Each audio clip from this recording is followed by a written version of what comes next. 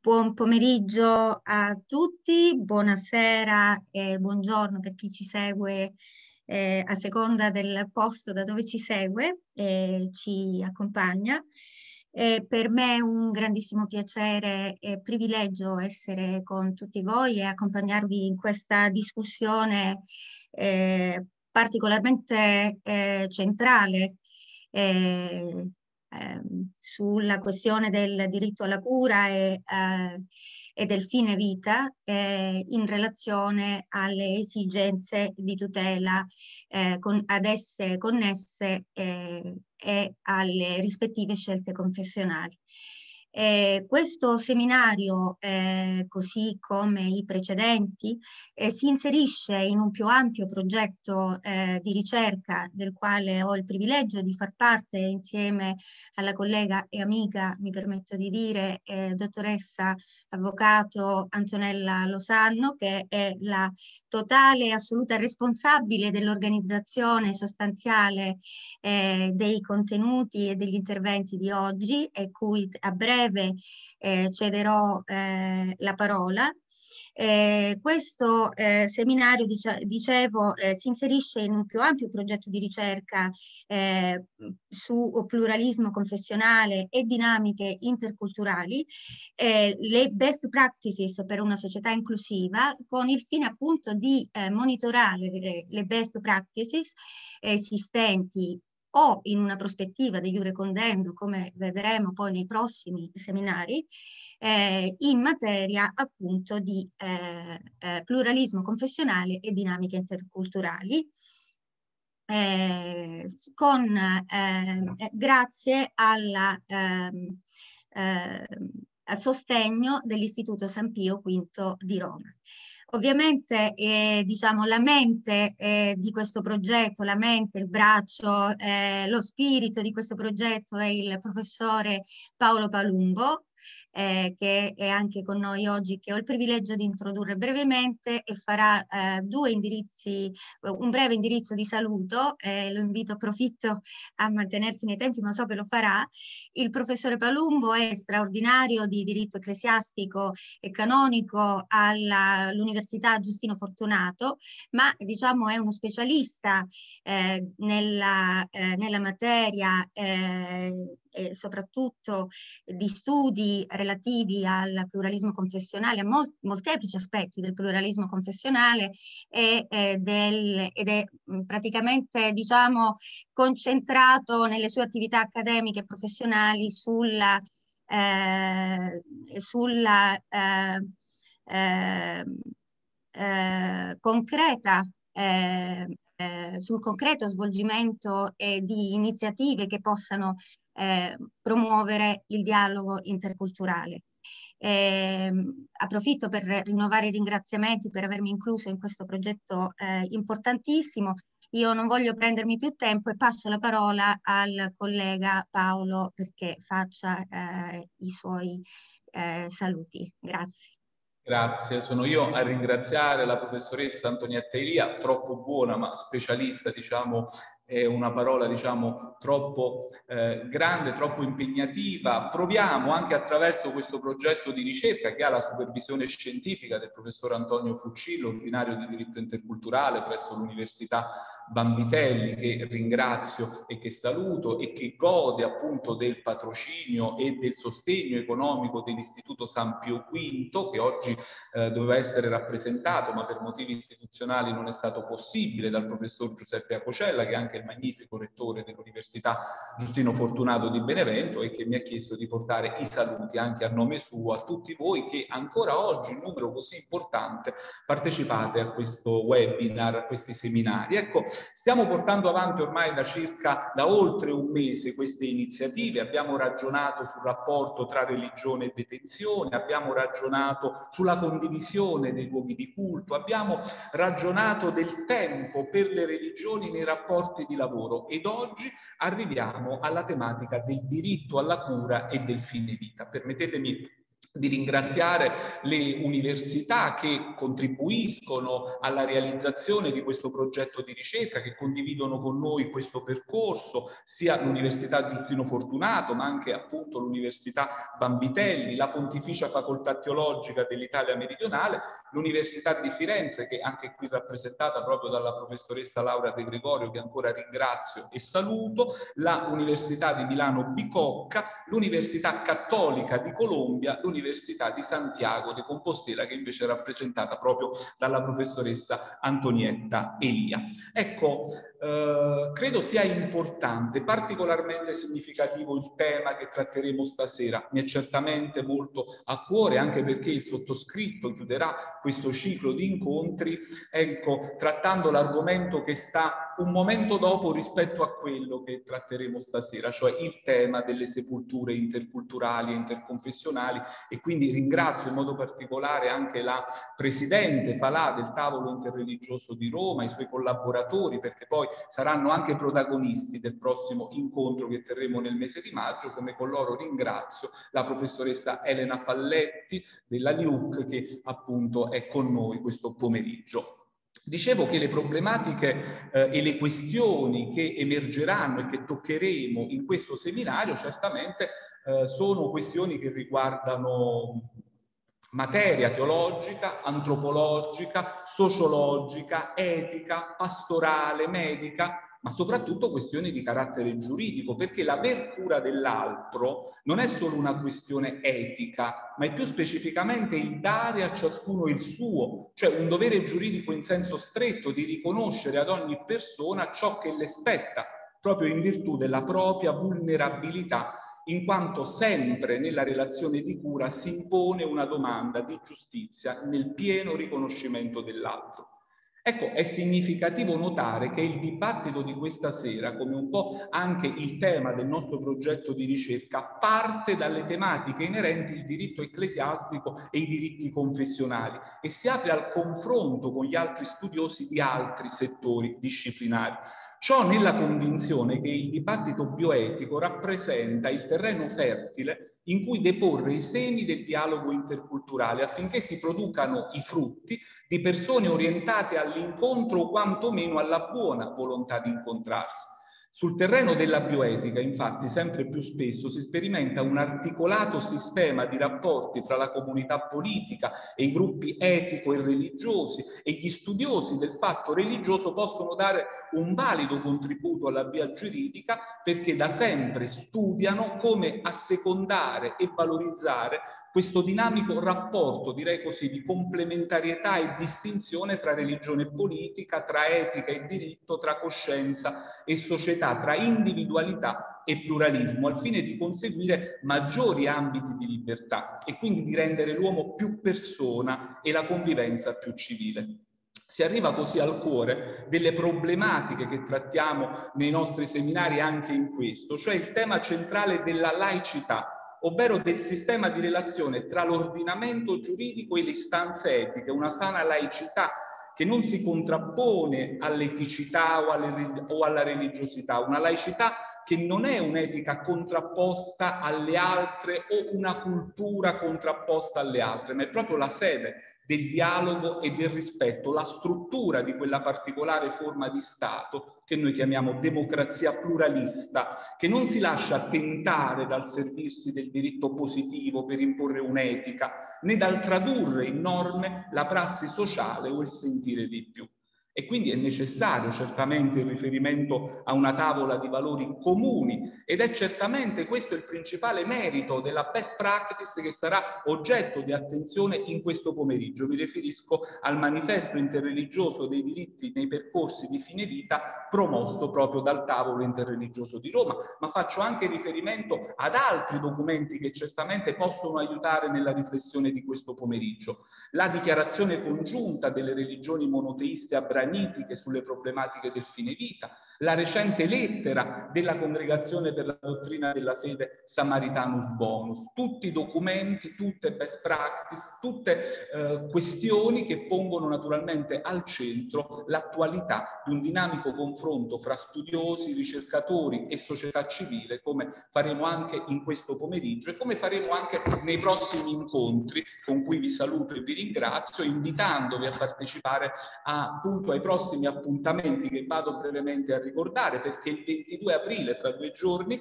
avremo il nuovo il webinar sulla tematica del rapporto coppie e famiglie miste e poi invece il 26 aprile alle ore 17 il tema della tutela della libertà matrimoniale e del contrasto al fenomeno delle spose bambine. Ringrazio in modo particolare la dottoressa avvocato Antonella Losanno per aver promosso questo incontro e per l'impegno che ha profuso proprio nell'organizzarlo e nella migliore realizzazione che certamente ci porterà a uscire questo pomeriggio da quest'aula virtuale più ricchi. Buon pomeriggio e buon lavoro a tutti.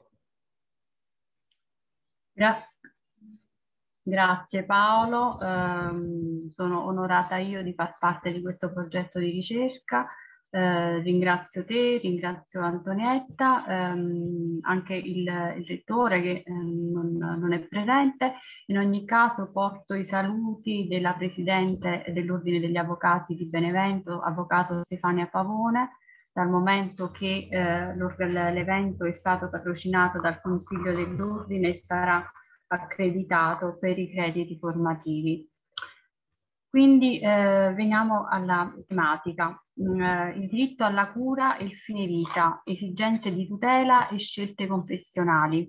Ebbene, è impossibile tentare un'analisi di questa tematica, il, appunto il diritto alla vita il eh, diritto alla cura il fine vita nel tempo assegnatomi, proprio per la complessità, la molteplicità delle questioni etiche, morali, sociali, giuridiche coinvolte, per cui mi limiterò a cercare di delineare spunti di riflessione che poi affiderò ai due successivi interventi, per l'individuazione anche magari di qualche best practice.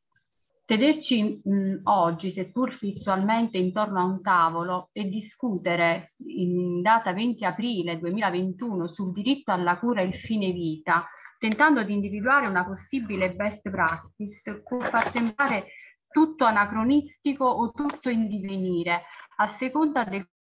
punto di vista dal quale considerare questa tematica, tenuto conto che per pura coincidenza, chiedo scusa, proprio oggi, 20 aprile 2021, è la data fissata e quindi quattro ore fa ehm, è stato depositato in Cassazione il, ehm, il um, quesito referendario per la legalizzazione dell'eutanasia. E proprio da quest'ultimo dato vorrei partire per tentare di cercare spunti di riflessione per questa questione che è abbastanza complessa. È emblematico infatti il dato che su una questione quale quella dell'eutanasia si sia provveduto a depositare il quesito referendario presso la Suprema Corte. Questo è sintomo di un voto normativo in materia di scelte di fine vita forse probabilmente voluto per i troppi interrogativi etici e religiosi che il fine vita in una società quale, pluralista quale la nostra,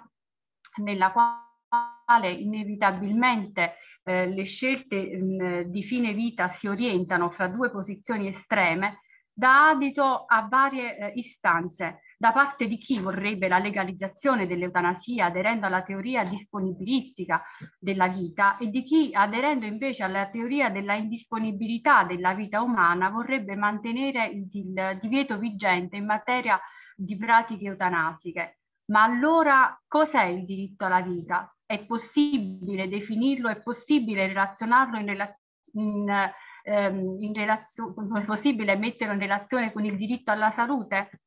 La Costituzione non prevede esplicitamente il diritto alla vita, ma è considerazione comune che sia, implicito, ehm, che sia un diritto implicito a cui poi l'intera Carta Costituzionale si va ad ispirare. Costituisce in altri termini il diritto presupposto per poter esercitare altri diritti costituzionali. E infatti l'articolo 32 principio cardine, prevede il diritto alla salute quale diritto fondamentale dell'individuo e interesse della collettività e che nessuno può essere obbligato a un determinato trattamento sanitario se non per disposizioni di legge. E quindi si, form, si fondano in questa norma interessi soggettivi propri dell'individuo e interessi oggettivi propri della collettività. E ancora l'articolo 2 poi va a, a riconoscere e garantire i diritti inviolabili dell'uomo in cui mh, si manifesta il valore più alto del nostro ordinamento, la tutela della persona umana ponendo il primato dell'uomo come valore etico in sé, dell'uomo come fine, non come mezzo,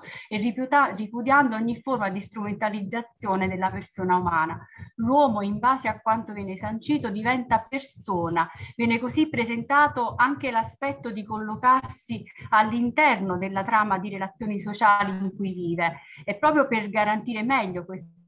aspetto sociale che viene inserito nella Costituzione la clausola dell'adempimento dei doveri inderogabili di solidarietà. Allora, in base al personalismo, al solidarismo dell'articolo 2, sono da ritenere illegittimi trattamenti sanitari che non hanno il consenso del soggetto, non sussistendo un dovere di curarsi se non nei limiti dell'articolo 33 della Costituzione, qualora cioè lo stato di malattia del soggetto possa costituire un pericolo alla salute come interesse altrui e della collettività. E allora sostanzialmente partendo da dal titolo di questo incontro, il diritto alla cura e fine vita, verrebbe da chiedersi l'ambito entro il quale il soggetto ha diritto di accedere alla cura, di disporre della cura e fino a quando e fino a dove può decidere di non curarsi. Ebbene, laddove ritenessimo che il valore supremo sia la libertà nel senso ampio del termine, fino a ricomprendere l'autodeterminazione, perché nella libertà si radica la, la dignità e eh, viene negata la libertà ogni volta che si va a compromettere la seconda, ovvero la dignità, l'eutanasia sarebbe legittima in forza del bilanciamento costituzionale di beni di uguale natura, quello alla vita e quello all'autodeterminazione. In altri termini, la dignità diventa un valore supremo perché implica l'identità, intesa come concezione di un progetto di vita, di credenze religiose, di un'etica personale, di valori percepiti e assimilati, tanto che se l'individuo viene calpestato nella sfera dei valori personali, potrebbe facilmente preferire la morte piuttosto che agire in un modo che non ritiene consono al suo sentire. Ecco allora uno, uno delle ehm, questioni da porre, la centralità dell'autodeterminazione, la centralità del consenso informato. Solo un, un, paziente correttamente informato può esprimere un valido consenso e, mh, per un determinato trattamento sanitario. In questi termini si pone mh, la legge che finalmente ha, dato, ha, fornito una regolamentazione del consenso informato, la legge 217 del, eh, due, eh, la legge 219 del 2017 che appunto eh, in, mh, in, merito al consenso informato e alle disposizioni anticipate di, di trattamento statuisce ehm, nel rispetto dei principi di cui agli articoli fondamentali della Carta Costituzionale, articolo 2, articolo 13, articolo 32 della Costituzione e ancora degli articoli 1, 2 e 3 della Carta dei diritti fondamentali dell'Unione Europea che ehm, la, la, ehm, la rilevanza del diritto alla vita, alla salute, alla dignità, all'autodeterminazione della persona statuendo che nessun trattamento sanitario può iniziato o mh, può, si può proseguire senza eh, il consenso libero e informato della persona interessata, tranne che nei casi previsti per legge. Ebbene, la mh, legge eh, 219 non va a disciplinare il fine vita, ma si presenta come un'attuazione pratica del diritto alla salute nella sua dimensione positiva e negativa, valorizzando il concetto di qualità della vita, poiché pone al centro di interesse il paziente, la sua autodeterminazione, che si esplica nella valutazione personale di scelte terapeutiche alternative. Tanto è vero che ogni paziente deve essere ehm, eh, ogni persona eh, ha il diritto di conoscere le proprie condizioni di salute, di essere informata in modo completo, aggiornato, ehm, in modo mh, comprensibile riguardo alla diagnosi, alla prognosi, ai trattamenti, ehm, agli accertamenti diagnostici, nonché riguardo alle possibilità ehm, delle varie, mh, dei vari trattamenti stessi, eh, al fine di poter addivenire anche a un rifiuto al trattamento alla, uh, dell'accertamento diagnostico. Quindi la legge sul consenso informato perché la richiamiamo? Perché va a... Mh, eh, a superare in maniera definitiva, oserei dire, l'antico approccio paternalistico eh, del rapporto medico-paziente, attuando quello contrattualistico e codecisionale, dal consenso informato e sul consenso informato si va a formare, si va a fondare quella relazione di fiducia in cui si, si individuano, si incontrano ehm, l'autonomia decisionale del paziente e la competenza, l'autonomia professionale e la responsabilità del medico.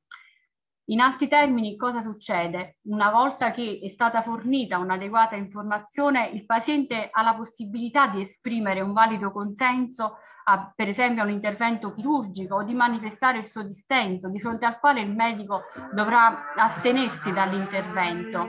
Si è posto il problema di quali cure possano costituire oggetto del dissenso del paziente. In altri termini, cosa accade quando dalla richiesta di sospensione di un trattamento medico possa derivare la morte del paziente? E quindi fino a che punto è doveroso curare un uomo? Quanto pesa la volontà dell'uomo paziente? Quanto la coscienza dell'uomo medico? Anche nell'ipotesi del dissenso ci si, do, ci si può mh, trovare di fronte a due interrogativi. Collegare, tale, mh, a collegare questo principio ai diritti inviolabili dell'uomo, tra cui l'insopprimibile diritto alla vita o all'interno del diritto alla salute, di conseguenza facendo riferimento al diritto di libertà personale. Ebbene, la legge 219 si pone in continuità con il codice di deontologia medica, in, ehm, con il dovere quindi di, eh, del medico di salvaguardare la vita, la salute, non solo fisica, ma nel rispetto della libertà e della dignità dell'assistito nonché si pone anche nell'ottica della continuità della statuizione del divieto di ostinarsi in trattamenti da cui non possa derivarne alcun beneficio per il paziente, l'accanimento terapeutico. Tuttavia la legge ha le sue falle perché d'altra parte si pone anche in contrasto con quello che va a statuire il codice di deontologia medica, nel senso che il medico, anche su richiesta del malato, non deve effettuare né favorire trattamenti diretti a provocarne la morte. E in realtà la legge è, è stata con, sta, stabilisce e va a statuire proprio sulle direttive anticipate di trattamento. Quindi in questo caso potrebbe, si potrebbe creare un conflitto tra quanto statuito, tra quanto deciso dal paziente e quanto il medico mh, prevede di mh,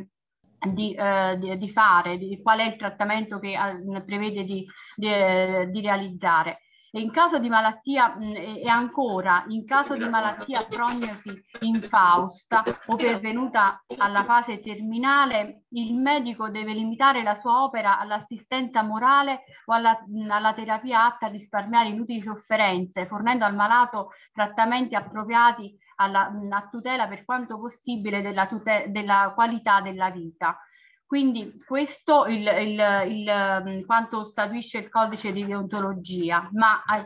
quando, ma eh, mm, a chi spetta delineare la qualità della vita? Su quali, quali criteri devono, ehm, si devono considerare perché mh, mm, una vita sia mh, degna di essere vissuta? E se ad esempio si, eh, venisse considerato solo il parametro del dolore percepito dal paziente, non si andrebbe a ledere il suo diritto più ampio alla salute in quanto non comprensivo anche della salute psichica? Ebbene, mh, mm, mh, mm, sono mh, mm, questioni che eh, non vengono eh, risolte, eh, se così possiamo dire, dalla, eh, dalla normativa richiamata. E un'altra incongruenza mh, eh, è nei confronti dei soggetti, ehm, dei soggetti fragili. La legge infatti non ha previsto, quando abbiamo visto la centralità eh, del consenso, ma la legge eh, non ha ehm, provveduto a tutelare adeguatamente eh, i soggetti dai quali non può eh, mh, provenire un, un, adeguato consenso ehm, che, che eh, sia stato prestato ehm, consapevolmente. Mi riferisco appunto mh, agli incapaci, soggetti fragili e quindi mh, la legge da, se da un lato per loro eh, vuole evitare l'accanimento terapeutico o l'eutanasia, in realtà poi d'altro canto ehm, potrebbe, il rischio è che potrebbe essere praticato proprio una di queste, ehm, di queste soluzioni nei loro confronti, allorquando eh, vi sia poi mh, non vi sia un accordo eh, tra chi eh, dovrebbe decidere per questi soggetti. Mi spiego, eh, nella, nella pratica se l'incapace totale in precedenza ha redatto una DAT, una disposizione anticipata di trattamento, sicuramente eh, queste disposizioni sono da ritenersi eh, vincolanti e quindi il rappresentante legale non, mh, che non sarebbe altro che mh, il nuncius eh, di, di questa volontà volontà del rappresentato dovrebbe mh, mm, limitarsi a riprodurre fedelmente eh, quello che è stato già stabilito eh, dal, mh, mm, dal, soggetto. Nel caso invece ehm, eh, dell'incapace ehm, parziale, le eventuali DAT predisposte in precedenza che non sono, non sono vincolanti perché il paziente conserva sempre il diritto a mutare idea e a revocare il consenso o il diniego, ehm, in questo caso allora la funzione funzione del rappresentante legale è quello di affiancare l'incapace al fine di manifestarne la volontà. E poi c'è anche l'altro caso che l'incapace totale, eh, quando un soggetto abbastanza grande per avere un vissuto eh, non ha predisposto le DAT. In questo caso il compito del rappresentante legale è quello di ricostruire la volontà del soggetto basando su vicende etiche, morali, religiose mh, e il caso, eh, il caso eh, in claro. E ancora i minori. Anche i minori ehm, sono centrali in questa disamina perché anche per loro c'è un problema di manifestazione del consenso. Il, um, per i minori un ruolo centrale è costituito e occupato dai genitori, dal tutore e se da un lato è opportuno che i genitori diventino insieme al minore i protagonisti del rapporto di cura, perché è sancito prima a livello costituzionale, poi a livello civilistico, che è dovere dei genitori occuparsi materialmente eh, dei figli, assistere moralmente i figli nel rispetto della loro capacità, delle loro inclinazioni e aspirazioni, ehm, non appare mh, similmente adeguato che i genitori o il tutore si sostituiscono al minore nelle decisioni di fine vita. In realtà, in base a quanto dice l'articolo 315 del codice civile, il minore che ha compiuto 12 anni o anche se di età inferiore con capacità di discernimento mh, ha diritto a essere coinvolto in tutte le questioni che lo riguardano, ma ammesso che il minore abbia la capacità di esprimere la volontà in merito ai trattamenti terapeutici, si può ritenere con certezza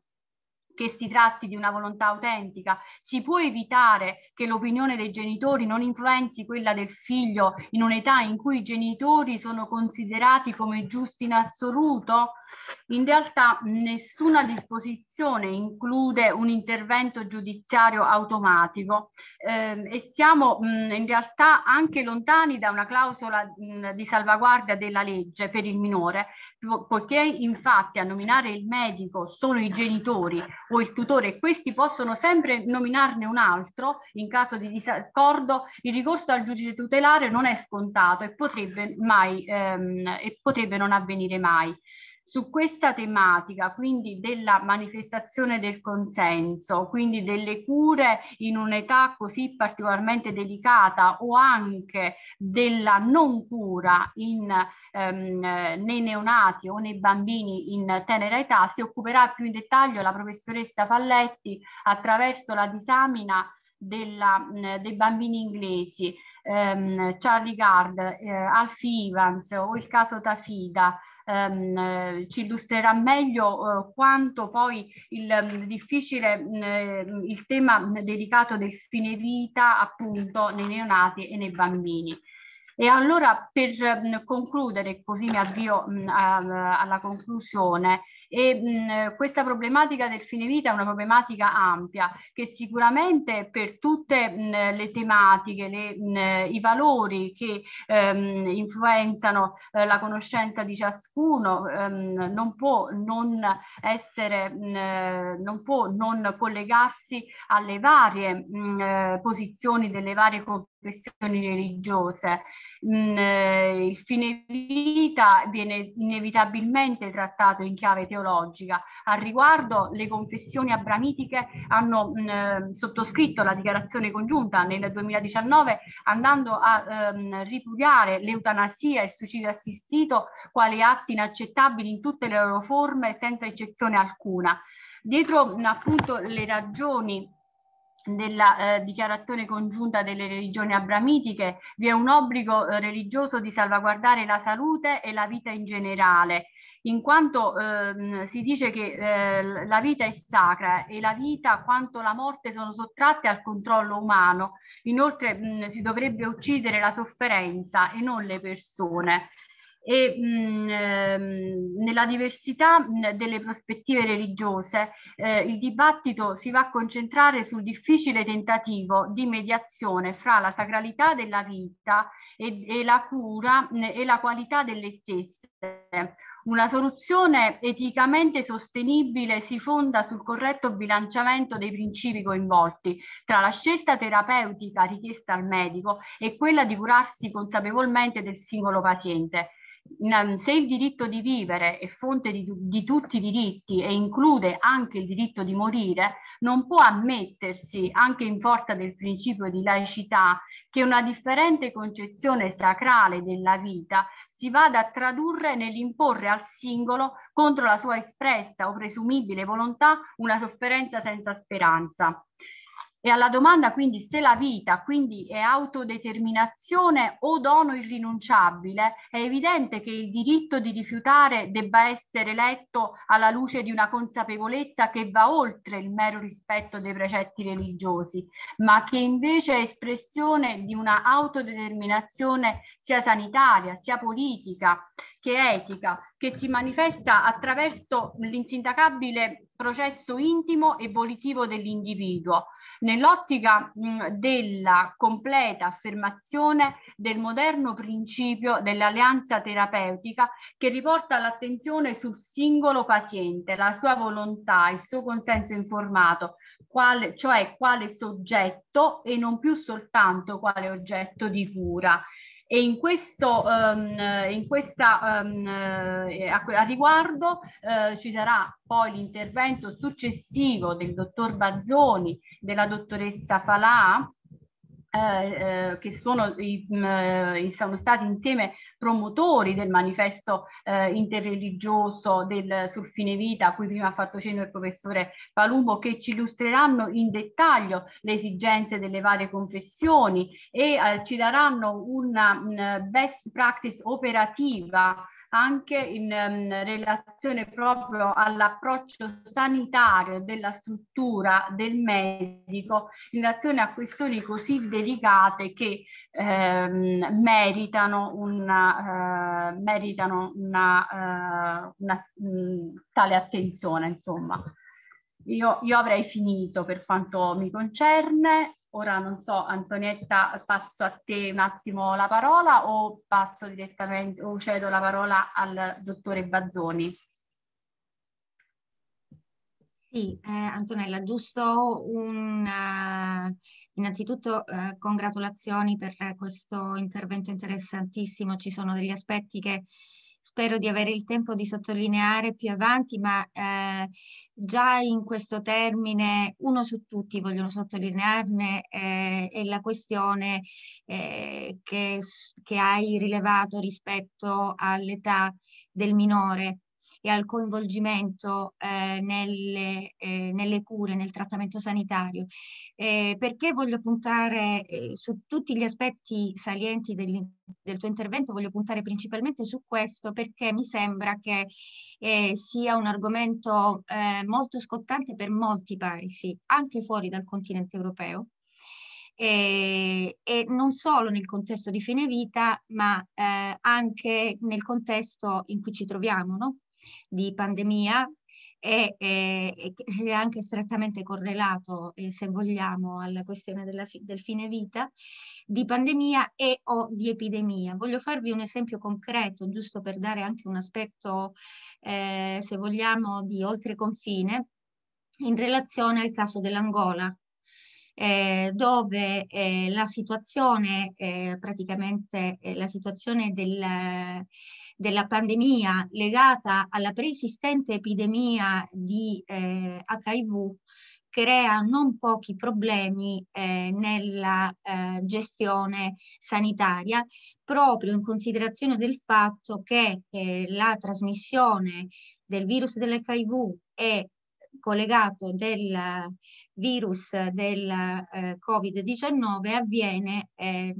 molto eh, più rapidamente tra i minori. E allora nel coinvolgere le cure non esiste un sistema legale chiaro eh, in cui eh, definire, insomma, è un problema con le dovute differenze di tradizione giuridica e contestuale, però è un problema molto molto più ampio. Nel caso italiano, eh, nel caso mi permetto di estenderlo dei paesi a civil law, ehm, è più eh, in termini forse applicativi che normativi sostanziali. Nel senso, e io poi Antonella magari eh, sarei molto felice di, di, di capire tu cosa ne pensi, se si tratta semplicemente di una questione applicativa eh, o si, che si può riferire, si può risolvere caso per caso, è necessario o se è più semplice risolvere caso per caso piuttosto che chiarire eh, il testo, la normativa applicabile eh, ab inizio. Eh, dunque, eh, senza abusare del, del, poco tempo che abbiamo a disposizione, eh, ringrazio anche Antonella per essere stata nei tempi e eh, passerei, eh, ripasso la parola a te eh, perché tu voglia introdurre il dottore Balzoni che sarò... No, mi sa che ho, mi sono un attimo inceppata sulla scaletta, cioè anche, cioè, prima anche per, quando, per come ho introdotto i temi, c'è prima la tematica dei bambini inglesi con la Quindi la professoressa Falletti. Falletti. Infatti, Quindi io passo sì, la parola a te attimo... perché tu voglia introdurre la professoressa sì, Falletti. E... Però eh, permettimi sì, prima eh... di eh, darle il benvenuto e, e, dirle che sono molto felice di conoscerla anche se virtualmente, sperando di poterci vedere personalmente molto presto. Quindi ti, ti ricedo la parola e ascolterò con attenzione. Grazie mi associo alla, alla questa um, alla, insomma e di vederci mh, quanto prima magari di persona. È un piacere professoressa averla qui con noi. Il, um, quindi mh, come ho già anticipato lei si occuperà del mh, tema del, delicato delle decisioni di fine vita uh, dei neonati. Magari andando a individuare se possibile una best practice ehm, nell'ordinamento anglosassone, oppure quali i limiti, eh, le perplessità, eh, gli inceppi ordinamentali, ehm, il ruolo eh, giudiziario, il ruolo del potere giudiziario in queste eh, scelte così difficili e delicate che eh, sicuramente ehm, coinvolgono la coscienza eh, di, del singolo eh, sicuramente eh, un, um, amplificano il coinvolgimento della coscienza proprio perché eh, stiamo trattando di, eh, di, neonati. Non vorrei ehm, intrattenermi oltre e quindi le cedo la parola. Buonasera, riuscite a sentirmi? Sì, sì, sì. Perfetto. Innanzitutto desidero eh, ringraziare l'avvocato Losanno per le belle parole che ha utilizzato per presentarmi, la, la professoressa Elia e per anche, anche lei per, sua, per, il suo caldo benvenuto e mi piacerebbe eh, incontrarla personalmente a Roma o a Santiago o dove vorrà, cioè pur, pur di riuscire a ritrovare una parvenza di normalità nelle nostre vite che io oso definire inscatolate. Ma passando oltre, ringrazio dell'invito perché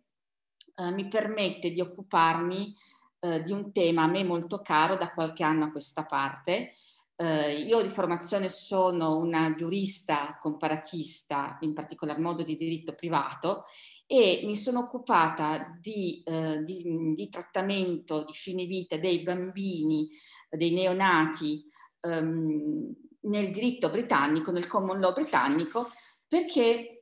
presentano diversi elementi, eh, diverse criticità, diversi aspetti interessanti ehm, relativi a molti aspetti, come se si trattasse di un, di un prisma no? che lo si guarda da diversi aspetti, sembra avere una sua unitarietà, in realtà riflette eh, la luce in modo differente a seconda della prospettiva.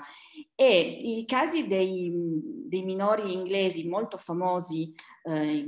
su, nelle cronache, delle, non soltanto europee ma anche mh, oltreoceano, riguardano per esempio casi a tutti noti, Charlie Gard per esempio, oppure Alfie Evans, eh, Isaiah Astrup o Tafida Rakib. Um, ciascuno di essi presenta un rapporto specifico con un, un aspetto uh, rilevante. Per esempio,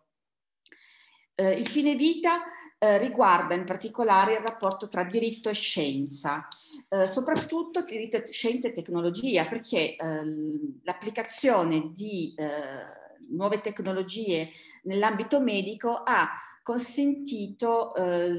l'estensione della vita umana e l'ospedalizzazione della, della, stessa in modo che fino a qualche tempo fa eh, risultava, risultava, assolutamente eh, inconcepibile, imprevedibile e questo non ha ancora pienamente trovato una soluzione da un punto di vista giuridico. Si è parlato della legge 219-2017, ma non ha ancora prettamente risolto qual è l'equilibrio tra la volontà della persona um, la deontologia e la coscienza del medico e appunto il rapporto um, con, la, con, la, tecnologia stessa. E questo aspetto diventa ancora più rilevante nell'ambito del trattamento dei pazienti infantili. Oppure c'è, um, c'è un altro aspetto impo- in, importante che è emerso fortissimo nel caso di Alfie Evans, poi li, um, andrò ad analizzare nel dettaglio, cioè il rapporto tra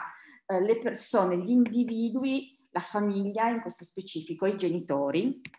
e le autorità, siano esse ehm, lo Stato attraverso appunto il,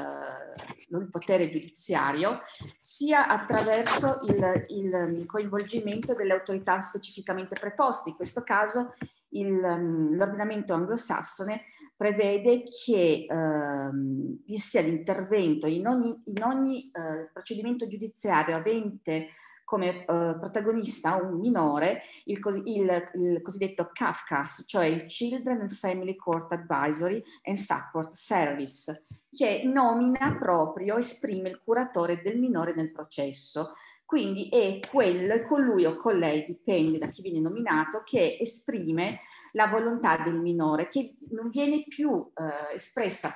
nel processo dai genitori ma proprio dall'autorità dall'autorità preposta e questo è di nuovo foriero di, di, di, di riflessioni, di problemi. E poi abbiamo, eh, perlomeno io ho focalizzato, la prospettiva del, di Isaiah Astrup dove il giudice um, fa una sorta di riflessione relativamente a cosa potrebbe pensare un minore,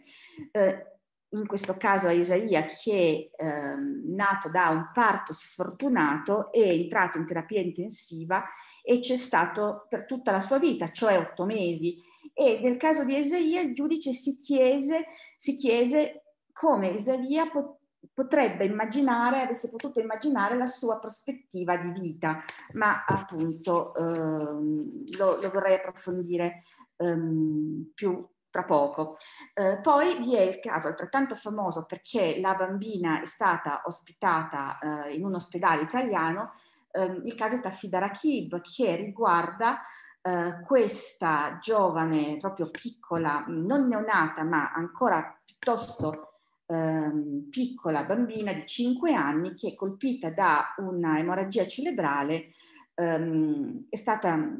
appunto oggetto di una battaglia giudiziaria, i giudici britannici hanno eh, consentito il suo trasferimento eh, in un ospedale italiano, in particolare il Glaslin di Genova. Ecco, io volle, quando la, l'avvocato Lozano parlava di bambini inglesi, io mi, riferivo,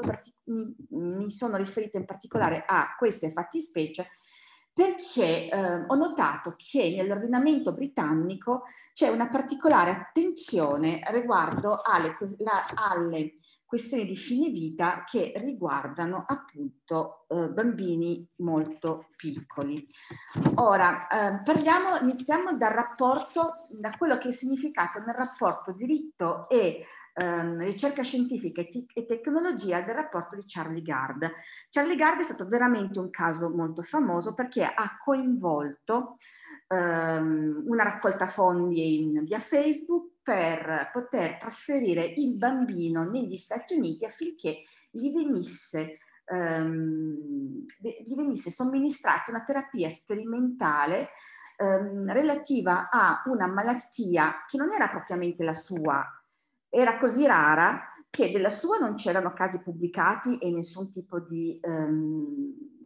di ricerche eh, in corso, ma siccome esisteva un esperto che poteva eh, essere utile in quanto la, la, la, patologia era simile ai suoi studi, questo esperto ha, ha, consentito, perlomeno si è reso disponibile ad applicare a Charlie Gard un trattamento sperimentale e la famiglia, i genitori, pur di eh, nutrire speranze, hanno ehm,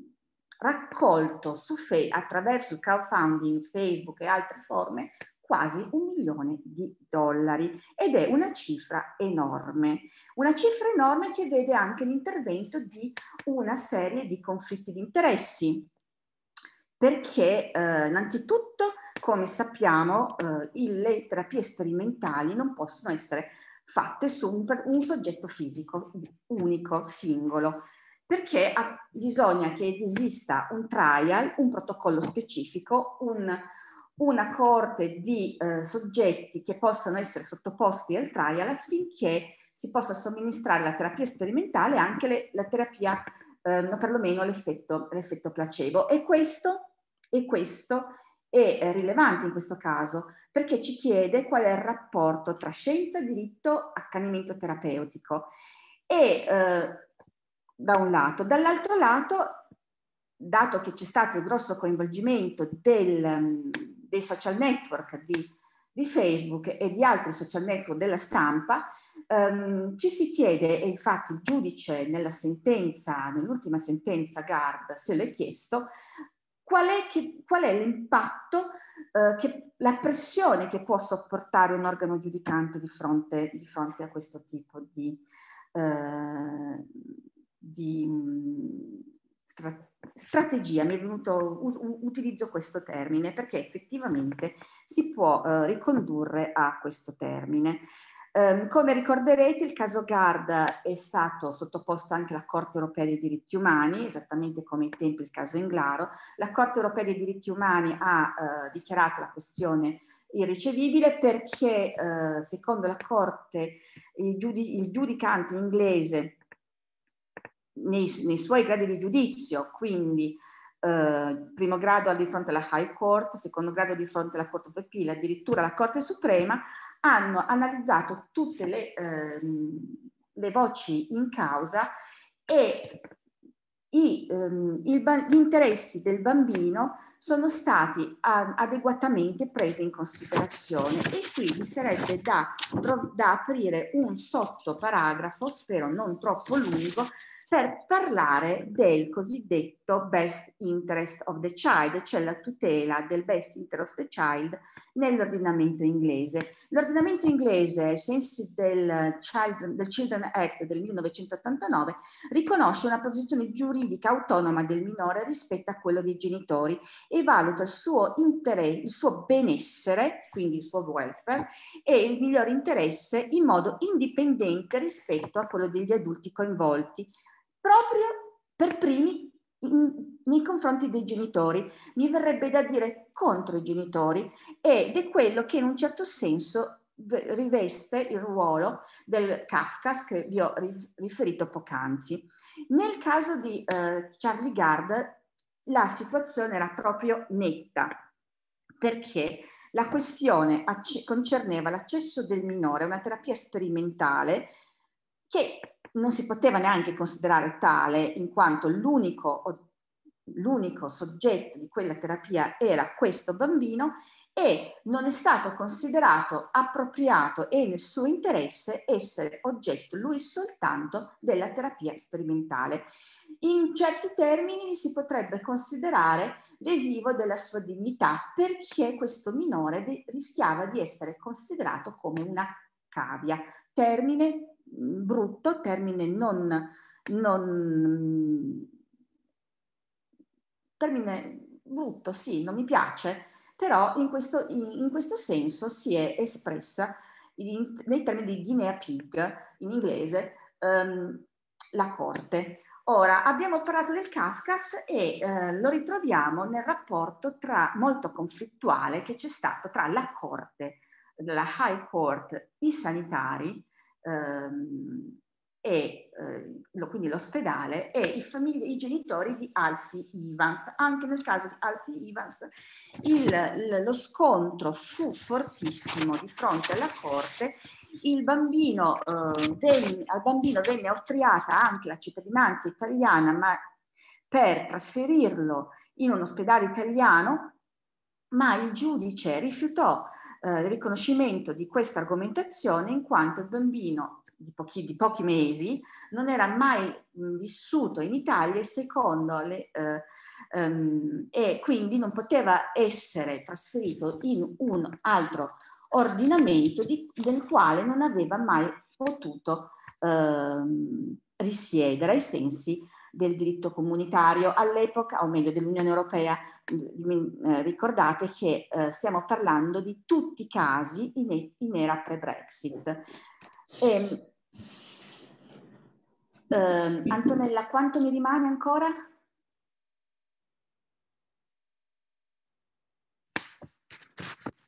Eh, esattamente, eh, professoressa Palletti, le restano diciamo eh, otto minuti? Perfetto, fantastico. Sono Grazie. on time. A me non c'era il... ok, non c'era l'audio. Ok, e, e, quindi il nostro, il nostro Alfi si è ritrovato oggetto di un contenzioso istituzionale, verrebbe da dire. Eh, mol- a differenza di Charlie, che aveva una speranza per una terapia, il, il, il contrasto con Alfie era meramente istituzionale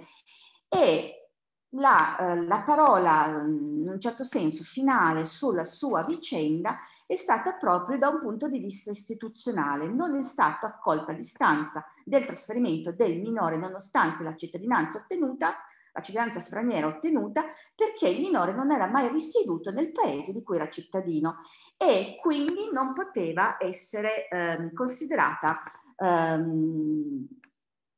accoglibile questa istanza. Il caso Astrup è forse quello meno doloroso da un punto di vista eh, argomentativo e genitoriale, è stato meno contrastato, tuttavia ha la, sua, ha la sua rilevanza perché in un certo senso, come vi ho detto, il, il, il, giudicante, il Justice McDonald, in un certo senso cambia la prospettiva e questo sembra una, un punto di in comune col caso Rakib che vedremo tra poco. Um, il Justice McDonald riguarda, il punto di partenza riguarda l'assumed point of view of the child, cioè il punto di vista del bambino, in particolare le sue attitudini verso il trattamento salvavita a cui è sottoposto, se le sue condizioni gli possono provocare dolore e se il piccolo è in grado di percepirlo. Questo è il punto, soffre o non soffre? E ehm, data la sua tenera età, Isaia al momento del giudizio, aveva compiuto otto mesi, non era in grado di capire le opinioni, le attitudini le e le credenze dei genitori e quindi si vedeva soltanto mantenuto in vita passivamente senza neppure una cognizione minima, una coscienza minima e una prospettiva di miglioramento. Pertanto il suo best interest, secondo il Justice McDonald, era quello di interrompere il trattamento. Su questo punto, sulla sul,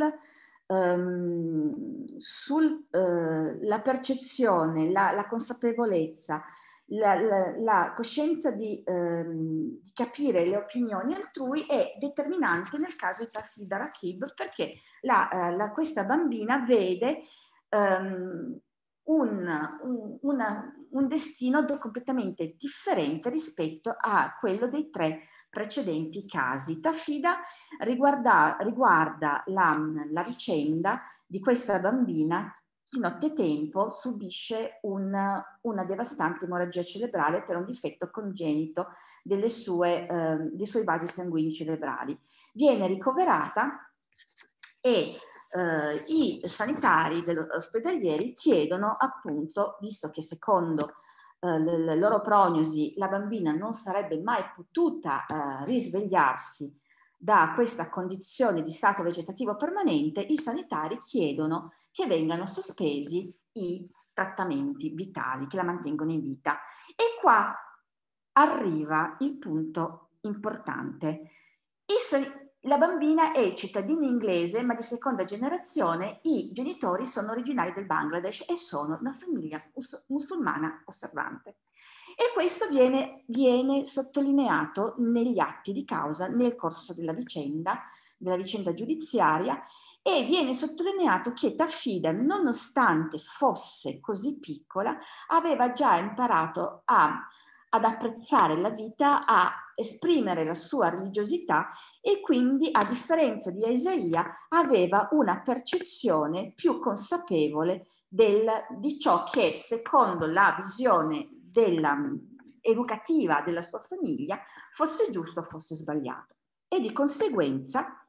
la, la, strategia di difesa della vita della bambina riguardava anche il trasferimento della piccola in un ospedale italiano, non più attraverso la richiesta di cittadinanza, ma attraverso, ricordo siamo sempre epoca pre-Brexit, attraverso la, il diritto, o meglio la libertà di circolazione nel nel, eh, de- delle persone per poter godere di servizi anche sanitari a, eh, ai sensi dell'articolo 56-52 del Trattato di funzionamento dell'Unione Europea. E questo accade, il giudicante, in, eh, il giudicante della High Court riconosce sia a Tafida il, la consapevolezza e quindi il diritto a essere mantenuta in vita perché la sua religione, il suo, il, suo, il credo della sua famiglia a cui è stata educata, questo, eh, questo crede e ehm, attraverso il diritto dell'Unione Europea vi è stata trasferita a, al Gaslini di Genova, ove credo che tuttora sia ricoverata. Um, questo era il punto uh, sinteticamente il, ehm, che ho cercato di, di, di, trarre dai miei studi, dalle mie ricerche sui casi dei minori britannici. Cosa possiamo dire in sintesi, in conclusione? Il tema è controverso, appunto, ma sto notando che dal punto di vista delle corti inglesi c'è una minore rigidità nei confronti dell'accoglimento dei pareri del Kafkas. Si dà più ascolto anche ai desideri dei genitori.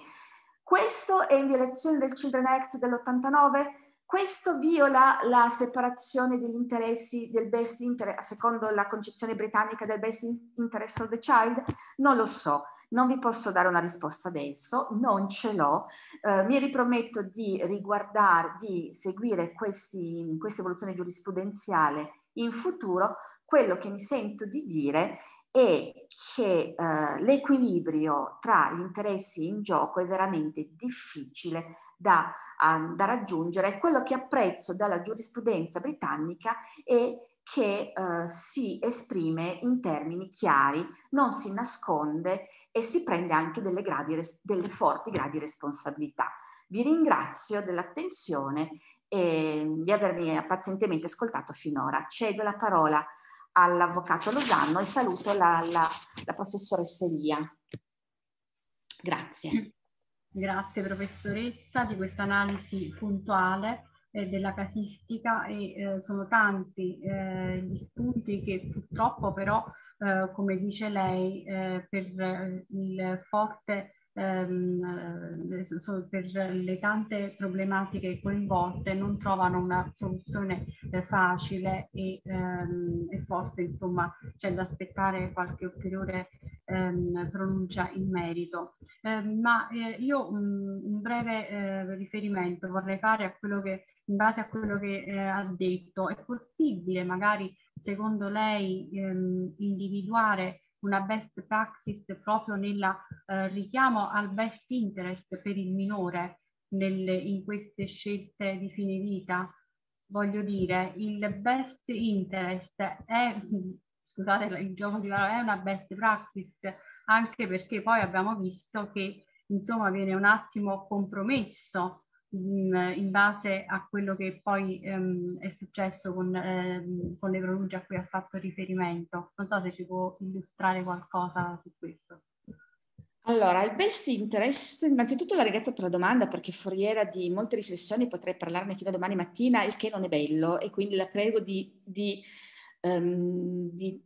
No, staremo nei tempi, no, no, non si preoccupi. Ecco, eh, il best interest è un concetto vago e di conseguenza possiamo riempirlo di quasi qualunque cosa.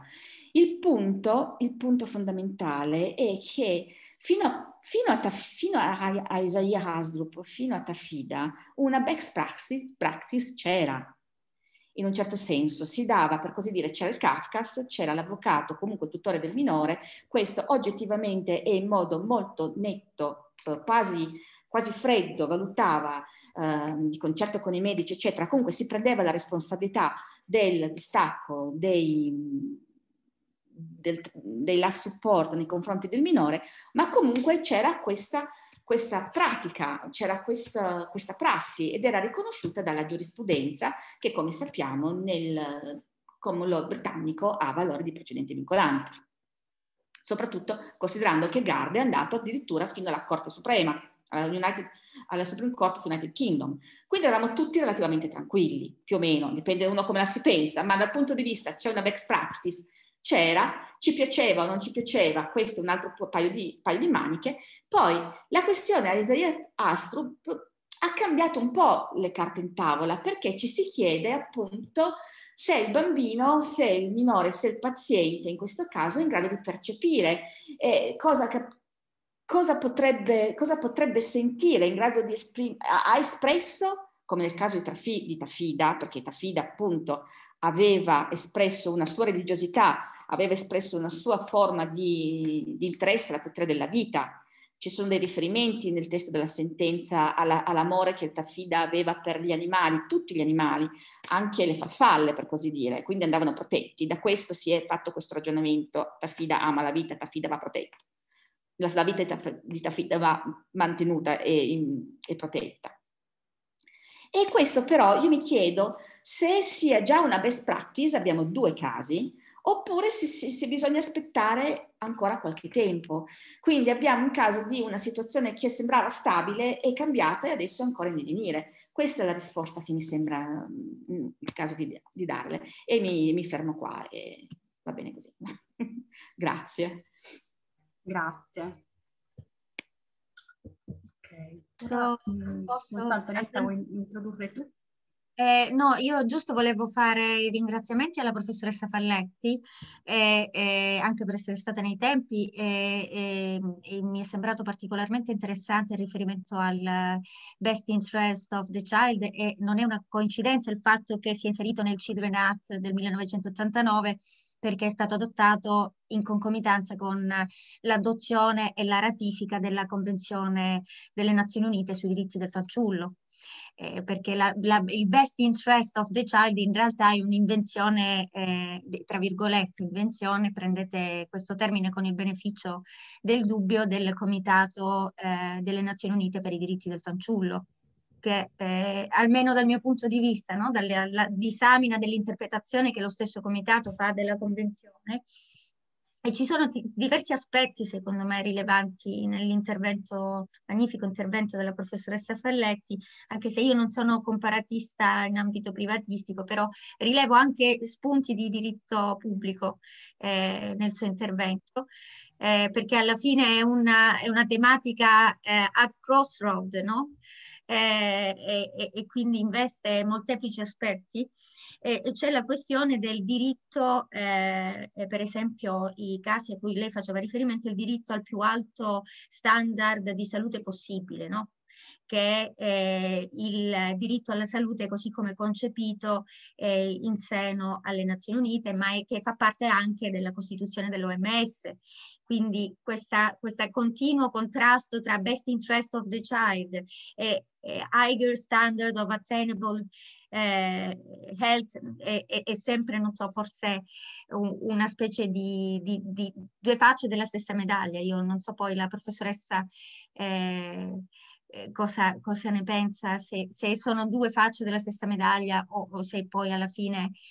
eh, sia più uno a prevalere piuttosto che l'altro. Allora, mm. Sì, allora, prego. Posso? Eh, sì. Io non volevo interrompere, però quello che, quello che, ha detto mi ha già suscitato una serie di riflessioni che appunto di nuovo fino a domani mattina non posso, quindi tacciatemi.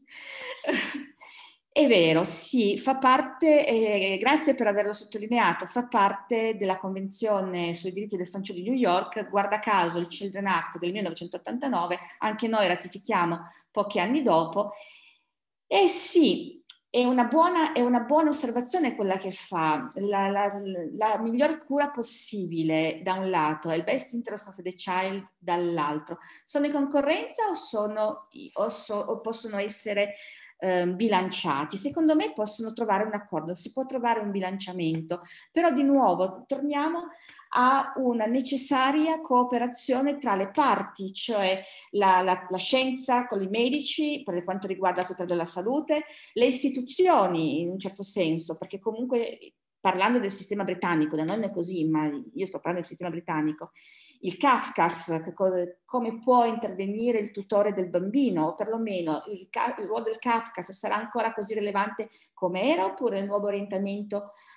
corte, delle corti inglesi cambia. Le faccio, le faccio un'osservazione che probabilmente è piuttosto, è piuttosto fuori tema, ma fa, eh, è pertinente quello che lei ha detto poc'anzi. Mi prendo proprio tre minuti, quindi mi scuso, mi scuso per la superficialità. Eh, recentemente si è parlato dei trattamenti eh, ormonali ai ragazzi, ai ragazzi cosiddetti transgender. È un tema molto complesso, è un tema che è stato affrontato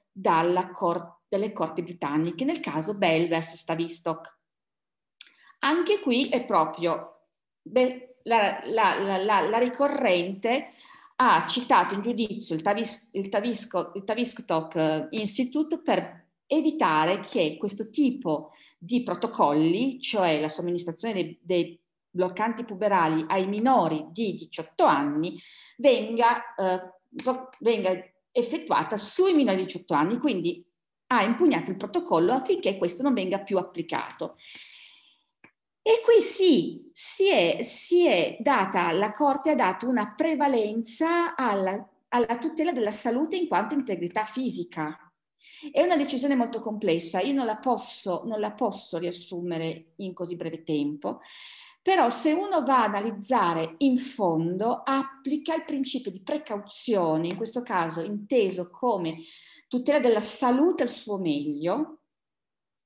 e quindi sottopone questo tipo di somministrazione agli infrasedicenni, non diciottenni, infrasedicenni, al vaglio del giudice. Il giudice avoca a sé questo tipo di uh, decisione e togliendola alle parti, quindi ai genitori e ai minori e anche ai medici e anche al Tavistock. E questo dà proprio a me, dato l'idea di una prevalenza della salute in quanto integrità fisica e questo fa parte in un certo senso del best interest of the child. E, um, e quindi le due situazioni, i due principi si possono, secondo me, integrare vicendevolmente, ma ci va la cooperazione part- degli attori, delle, degli operatori in, che si occupano di questo tema. Ecco. Grazie professoressa. E, e infatti io l'ultima cosa Antonella e infatti quello che lei ha appena detto in realtà si desume anche dalla cioè la congiunzione, l'esistenza di una eh, integrazione del best interest of the child con l'integrità fisica il diritto alla salute e in sostanza almeno dal mio punto di vista anche l'indirizzo dello stesso comitato dei diritti del fanciullo. Si desume dall'interpretazione che fa eh, del diritto alla salute eh, dei, dei, per come garantito dalla Convenzione. Quindi eh, secondo me eh, sarebbe da approfondire il caso e ha ragione completamente. Io eh, spero ci siano altre occasioni in futuro di, di, di approfondire l'argomento. Antonella, io eh, vorrei, se, ti, se, mi permetti, eh, approfittare dell'occasione sì. per salutare, perché purtroppo devo lasciarvi, come vi dicevo, purtroppo alle 18.30, quindi esattamente tra eh, 10 minuti dovrò essere collegata in anticipo su, per un altro impegno improrogabile. Quindi con gran dolore al cuore devo, non posso ascoltare in diretta la dottoressa Falà che eh, veramente attendevo eh, sinceramente da quando abbiamo già pensato che avremmo fatto i webinar, quindi ancora non avevamo i calendari. E, e quindi no, e veramente sono, sono, molto dispiaciuta per questo, così come il dottor Bazzoni. Eh, mi dispiace non partecipare al dibattito eh, che il collega Paolo Palumbo sa eh, essere la mia, la mia parte, la, la, la, parte che adoro di più di questi webinar, perché è dove ci riavviviamo un po' e torniamo a una parvenza di quasi normalità. Eh, perciò io chiedo umilmente scusa se eh, dovrò lasciarvi eh, a breve. Eh, ho mandato però nella chat eh, l'indirizzo email per rimanere in contatto con, con tutti voi e, e, e seguire, eh, continuare a fare ulteriori commenti. Ringrazio la dottoressa Losanno per eh, il meraviglioso eh, webinar organizzato oggi e, e quindi eh, vi lascio in ottime mani con eh, la, la, sola responsabile. Vi lascio con la sola responsabile della giornata di oggi eh, e che mi ha onorato di, di includermi tra i partecipanti. Grazie infinite. Grazie a te Antonietta, troppo buona, mi dispiace che vai via, ma mi avevi annunciato questo pregresso impegno improrogabile. E allora, um, ciao Antonetta, e ora eh, la parola quindi ehm, alla eh, dottoressa Palà, al dottore Bazzoni, non so, eh, solo per una questione di eh, scaletta di eh, programma, eh, la lascerei, non so, mh, vedete tra di voi come ritenete meglio organizzati, dal momento che ehm, il professor, il dottor Bazzoni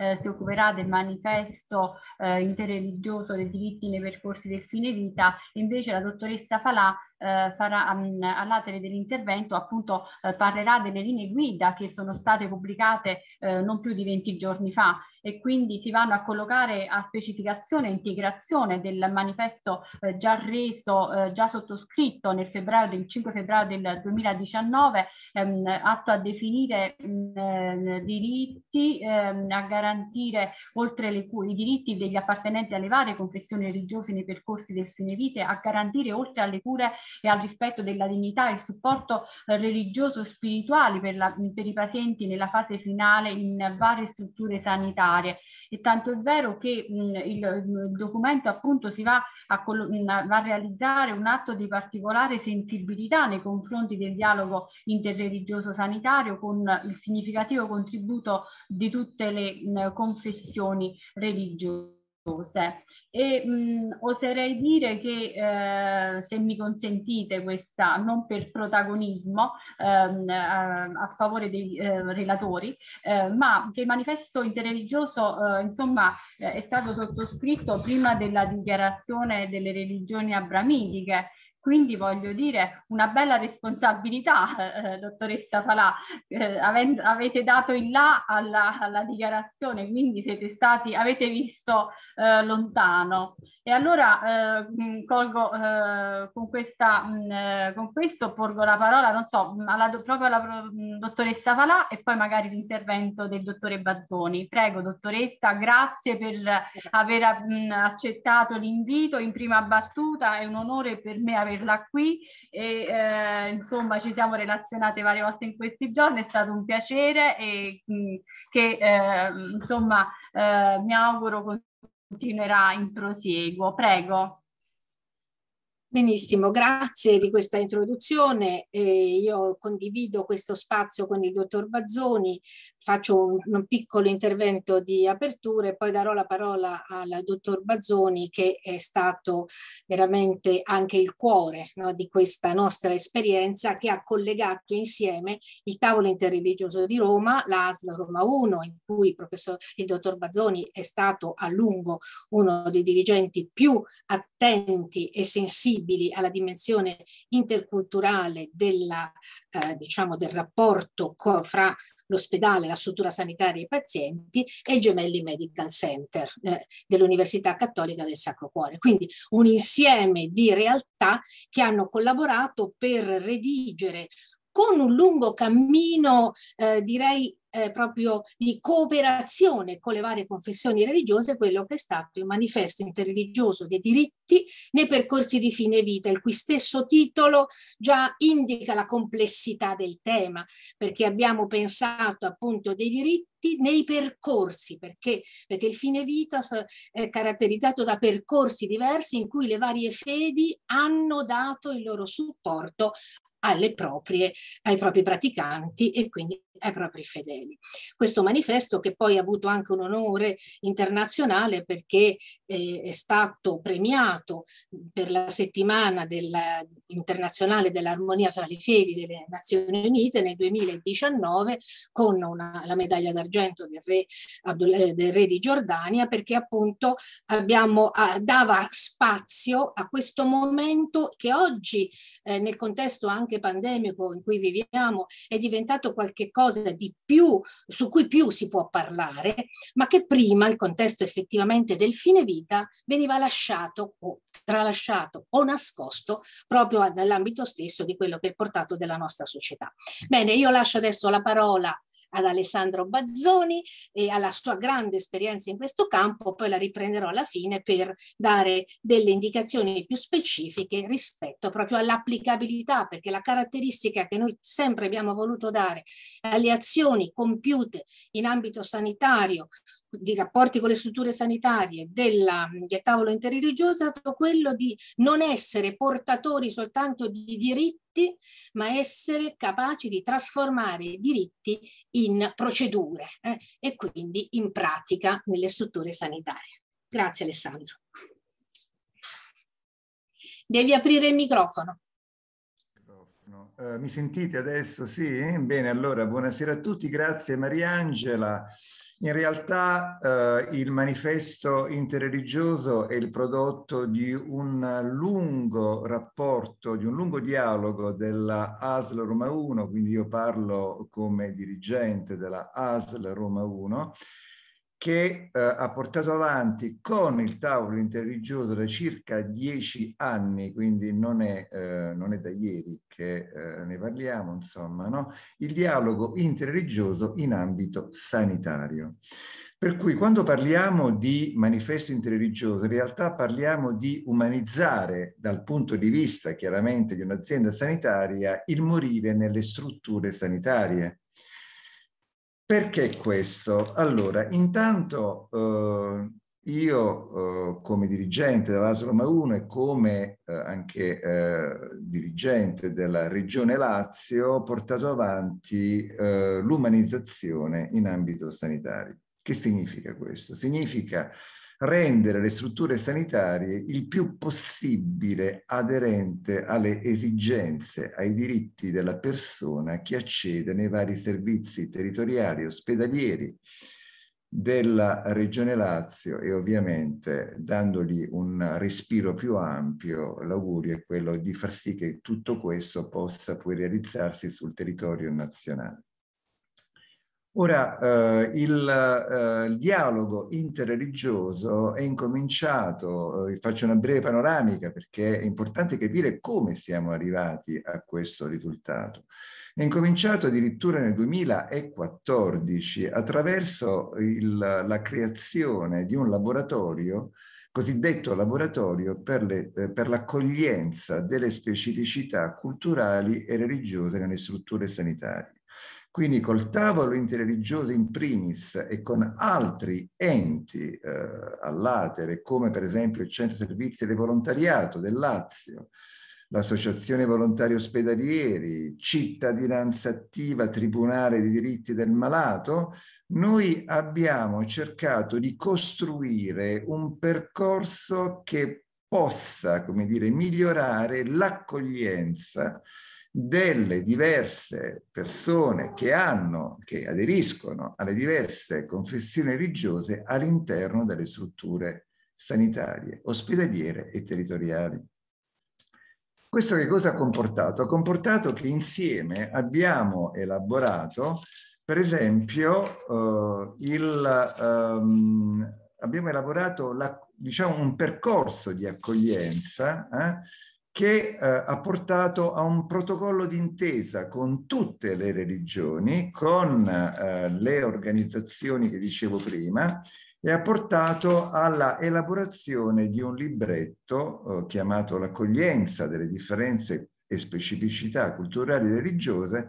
nelle strutture sanitarie, ospedaliere e territoriali della Regione Lazio. Di che cosa si tratta? Delle prime raccomandazioni elaborate dalle diverse religioni per gli operatori sanitari che operano nelle strutture in modo tale che sono messi nelle condizioni di conoscere quali sono le modalità specifiche da parte di tutte le religioni in merito all'accoglienza delle persone che accedono nei reparti ospedalieri.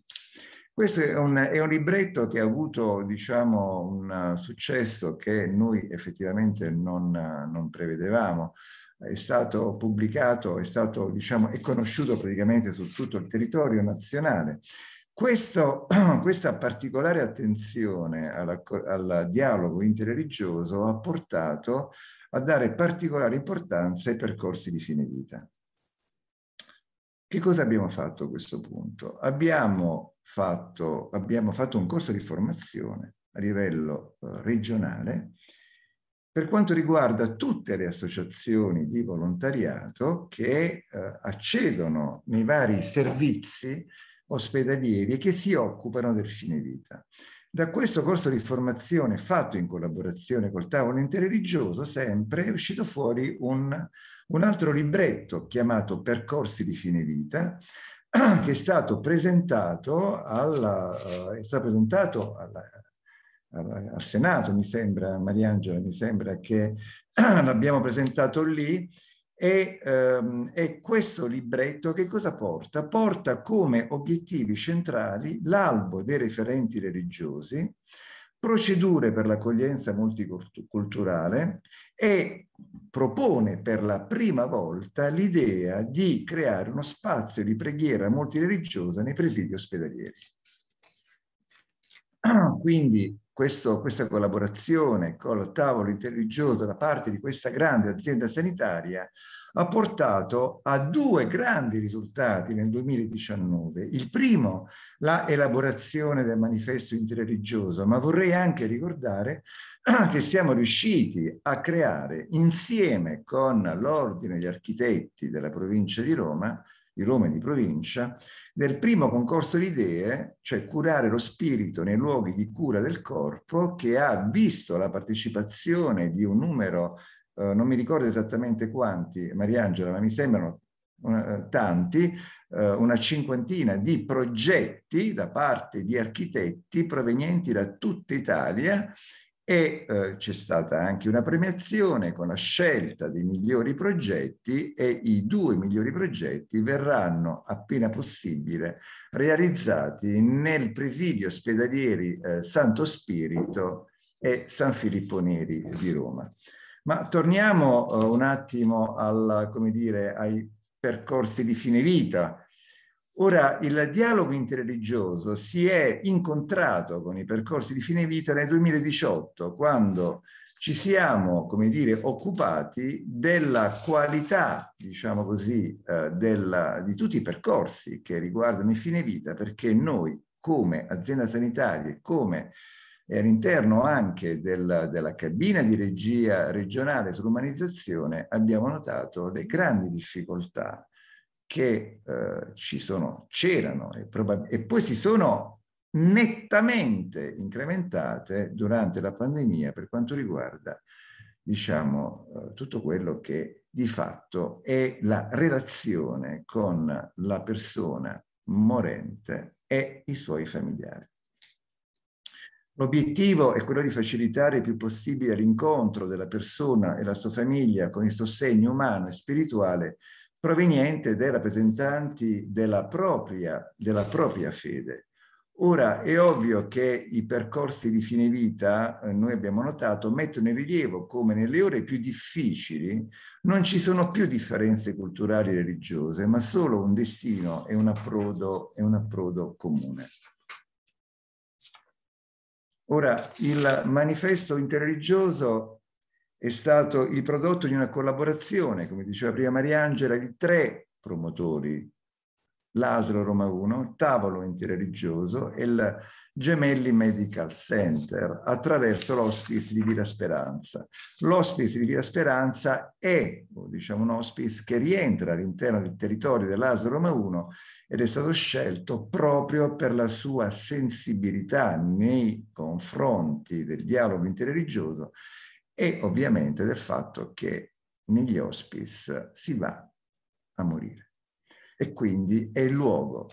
privilegiato per poter osservare quello che avviene nella relazione con la persona morente e i suoi familiari. Ora c'è anche anche da dire che, eh, come dire, il gruppo promotore ha dato partendo da aprile 2018, quindi sembra eh, sia passato un secolo, in realtà sono passati soltanto aprile eh, 2018, due anni. Sono esattamente due anni da quando abbiamo incominciato a dar luogo a una serie di incontri con i diversi rappresentanti delle fedi presenti nel territorio nazionale che hanno aderito insieme con le associazioni, enti del terzo settore e questa riflessione congiunta e condivisa ha portato all'elaborazione di nove diritti. Nove diritti della persona che, come dire, si tratta ovviamente di poi eh, diciamo, realizzarli all'interno delle strutture, delle strutture sanitarie. Ora, il gruppo di lavoro che ha contribuito alla realizzazione manifesto, io lo ricordo, a parte la Roma 1, a parte chiaramente il tavolo interreligioso e il Gemelli Medical Center, hanno partecipato il Centro Culturale Islamico d'Italia, la Chiesa Adventista, la Conferenza Episcopale Italiana, la Diocesi Rumena in Italia, Gemelli Medical Center, ovviamente l'Istituto Buddista Soga Gakkai, l'Unione delle comunità ebraiche in Italia, l'Unione induista italiana, l'Unione buddista italiana, il Vicariato di Roma e come enti del terzo settore l'Associazione Volontari Ospedalieri, l'AVO, Cittadinanza Attiva e il Centro Servizi Volontariato del Lazio. Ora,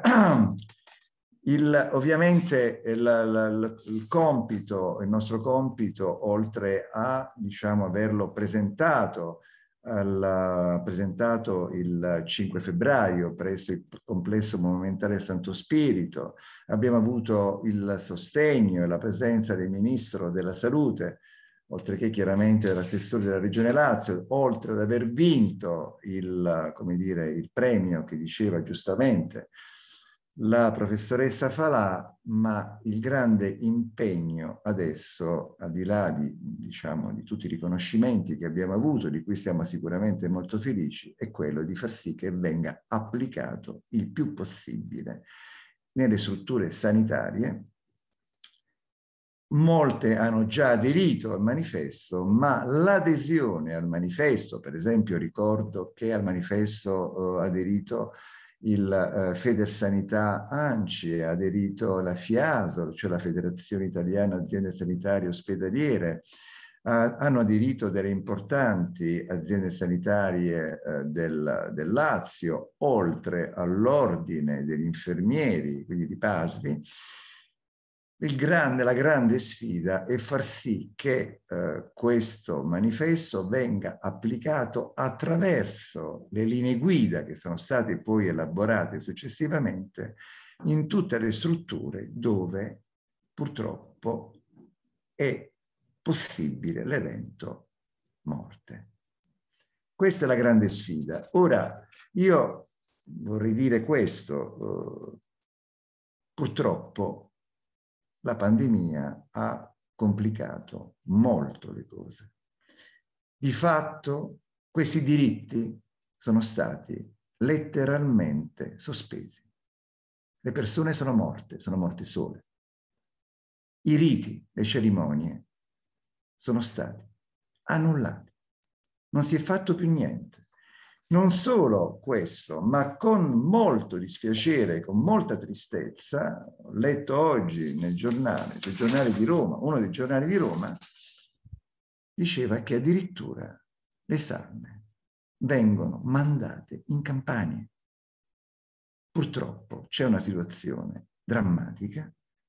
Io so che eh, siete al corrente di quello, sta, di quello che sta succedendo,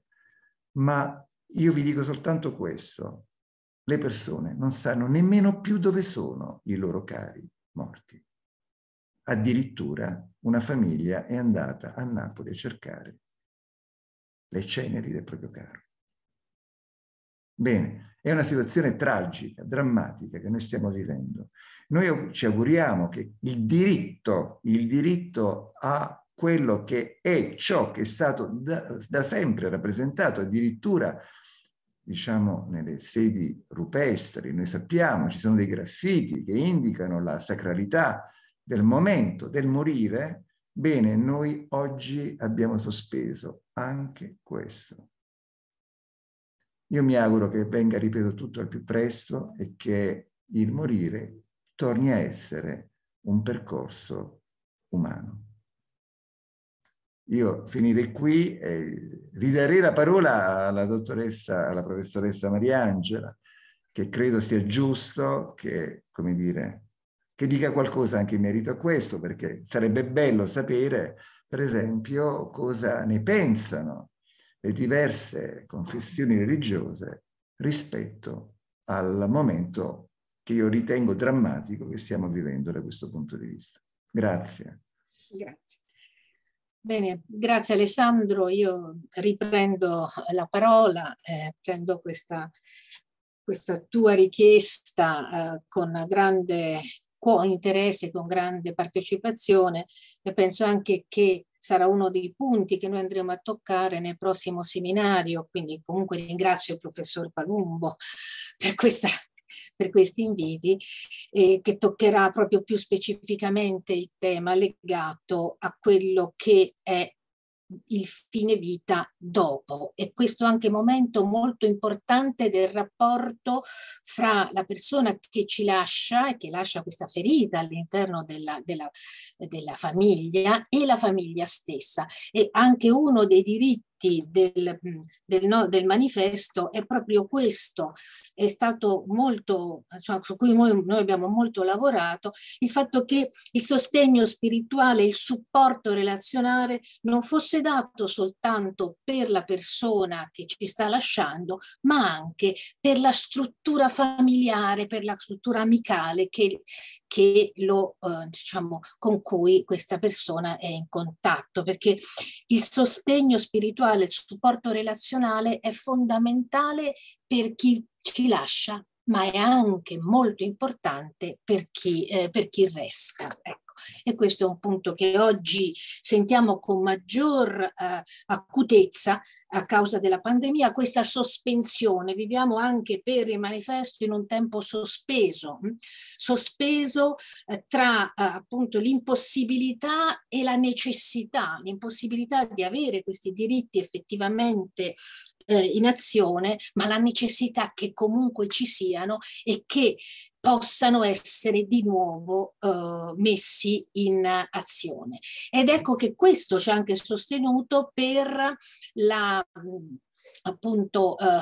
come diceva poco fa, per la pubblicazione che è stata curata dalle varie confessioni religiose e dal comitato promotore, appunto, eh, per le linee guida affinché questo manifesto diventi una pratica e diventi qualcosa di applicabile. E forse in questo momento di aperture, forse di nuove speranze per l'uscita da una situazione di eh, drammaticità che ci ha visti vivere ormai da oltre un anno, ecco, questa pubblicazione probabilmente vuole dare una speranza. Ora una speranza che le linee guida che rappresentano proprio l'orientamento operativo per gli operatori sanitari e sociosanitari che si trovano di fronte a queste sfide, a nuove sfide deontologiche, a nuove sfide etiche che eh, coinvolgono pazienti che provengono, e questo è il nostro interesse fondamentale, da diverse culture, da diverse lingue, con diverse lingue, con diverse religioni, con fedi diverse. Quindi il, il nostro approccio è sempre stato un approccio legato anche al, al, lavoro che state facendo, al fatto che la società italiana da, si è trasformata in questi ultimi anni in una società multiculturale con multipresenze, che quindi sollecita nuove iniziative di informazione e di formazione e che i modelli anche comunicativi e relazionali all'interno delle strutture sanitarie devono rispondere a queste sfide di integrazione, di integrazione a nuove forme di solidarietà e anche di ehm, condivisione. Ecco. Per cui questo manifesto che speriamo possa essere di nuovo eh, attivo nelle strutture sanitarie, come diceva poco fa il dottor Bazzoni, attraverso la FNOPI e attraverso e anche le altre strutture, la FIASO, la Federsanità, quindi c'è un ampio ombrello di eh, federazioni che sostengono l'applicazione del manifesto, con le linee guida possa riprendere il suo cammino, essendo un percorso, quindi possa riprendere questo cammino. E le linee guida intendono offrire, ecco, sono molto semplici, quasi, un, quasi delle schede, quindi un testo molto agile, di facile consultazione, proprio per dare indicazioni operative per rendere effettivi questi nove diritti eh, che costituiscono il manifesto di, eh, di, per sé ed è stato pensato proprio per le strutture assistenziali, per il personale sanitario e socio-sanitario. L'hanno scritto i referenti delle confessioni religiose, eh, con proprio l'idea di dare delle indicazioni. Difatti ci sono indicazioni relative alla preghiera e all'osservanza rispetto alla propria fede, ma anche indicazioni il rapporto con il proprio corpo, il rapporto con il dolore, la dignità della morte? Mm, e quindi il trattamento pre e perimortem, quindi come una persona possa morire degnamente eh, con il supporto della propria fede, con la presenza della famiglia, con la presenza di una struttura sanitaria rispettosa eh, di questo attimo fondamentale che ci accomunerà e ci accomuna tutti. Quindi queste indicazioni delle diverse fedi nei confronti del fine vita far sì che proprio che in quei momenti così difficili possa essere garantito il conforto, il calore, il sostegno, l'appoggio. Eh? E quindi la, la valorizzazione e il rispetto di queste diverse sensibilità religiose e anche culturali, perché all'interno ci sono anche delle indicazioni specifiche di diverse culture, consente di mantenere sempre al centro dell'attenzione la persona, in questo caso la persona inferma e la sua dignità. Non esistono diversi valori di vite umane, tutte le vite umane hanno un valore incommensurabile presentando pari dignità, importanza e sacralità in virtù del principio di uguaglianza. E con queste linee guida abbiamo voluto mettere in atto, eh, far sì che questi principi, che questi aspetti possano essere eh, sostenuti e eh, possano avere tutto quanto eh, diciamo è possibile da parte della struttura de, di accoglienza della struttura sanitaria eh, possa essere offerto. Eh, tutti questi principi si basano anche sugli articoli del, del manifesto. Mm, l'articolo 2 dice il diritto al rispetto della propria religione. L'articolo 3, il diritto orientato a servizi legati al rispetto della sfera religiosa, spirituale e culturale. Ecco un altro punto che vorrei sottolineare. La nostra attenzione è stata questa. C'è una sfera religiosa, ma c'è una sfera più ampia mm, che è la sfera dello spirito e poi c'è anche la sfera della propria cultura. Non va dimenticata, l'uomo è una realtà complessa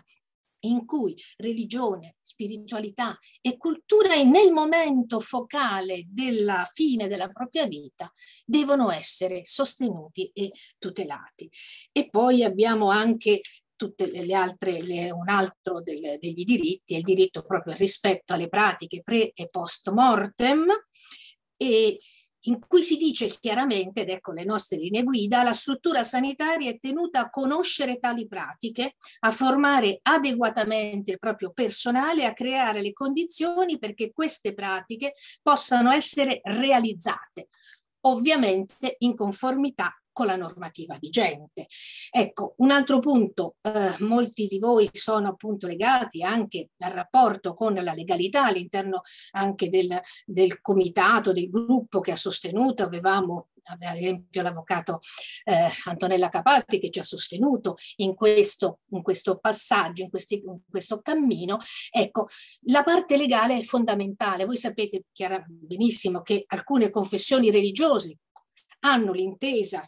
ex articolo 8 della Costituzione, quindi hanno in un qualche modo garantite alcune eh, delle proprie pratiche, delle pratiche funerarie, pensiamo alla comunità ebraica o anche alla comunità buddista che hanno articoli ben specifici su questo, ma sapete bene anche il grande problema che c'è legato alla comunità islamica che non avendo un'intesa si trova molto spesso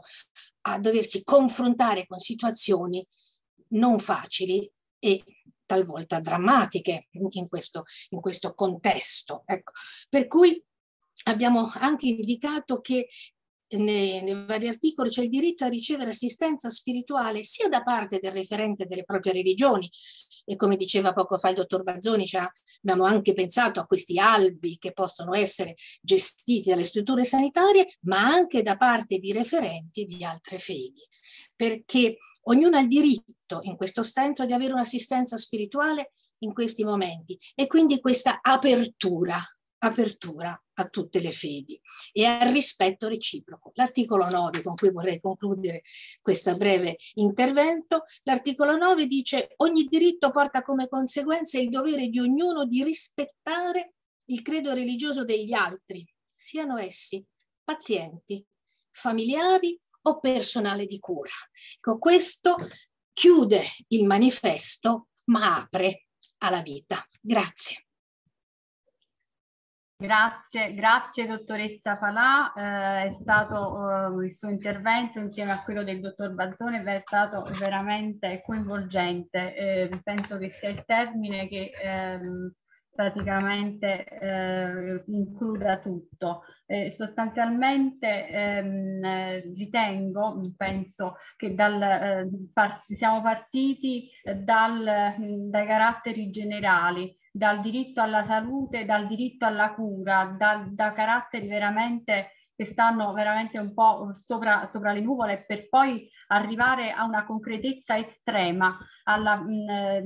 da, quindi dalla teoria alla, alla pratica e alla buona pratica clinica e non solo. E mh, oserei dire che infatti le linee guida si vanno a collocare eh, proprio eh, in quei momenti mh, in cui la fragilità, la vulnerabilità, la finitezza sono, eh, sono estremi, raggiungono il limite oltre il quale appunto non, non si può più andare. E quindi vanno, mh, mm, eh, que, quelli, sono in questi, in questi momenti si vanno a, a suscitare domande per le quali eh, ognuno nella propria dimensione troverà una risposta. E ritengo, penso con il consenso di tutti i partecipanti al webinar che eh, le linee guida hanno dato una risposta mh, veramente eh, positiva e hanno incluso tutte queste problematiche, fino a, come ha detto giustamente, eh, mh, analizzare, a considerare, come ha detto giustamente la,